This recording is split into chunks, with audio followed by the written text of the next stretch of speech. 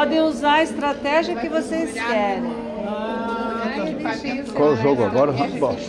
É, a gente tem que ler uma frase, ela é surda e a gente tem que informar, ler a frase para que ela entenda. O desafio é esse. Ler uma frase para que a surda entenda.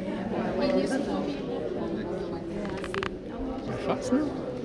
Dinheiro. Não, você sabe. Eu já via, ela lê a leitura labial. Se você falar bem devagar, ela entende. Sim, eu sei.